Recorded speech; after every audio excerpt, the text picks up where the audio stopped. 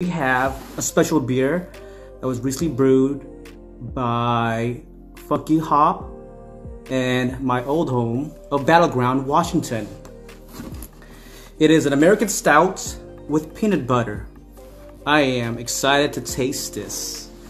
Let's see how it tastes.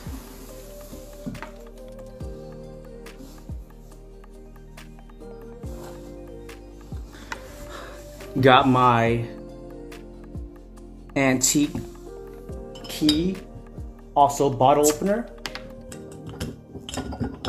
Put this beer in the freezer for like 30 minutes. I like the slushy mode. So we'll see how it comes out.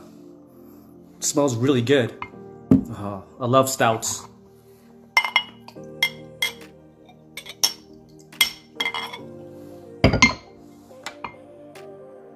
Oh man.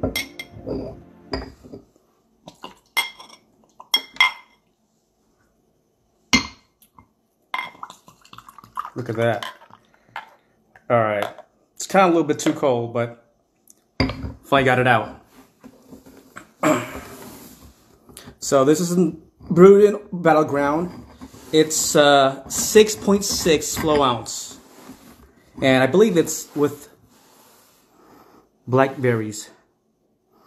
Oh, I wish you could smell this. It smells delicious. Nice dark color. Nice bubbles.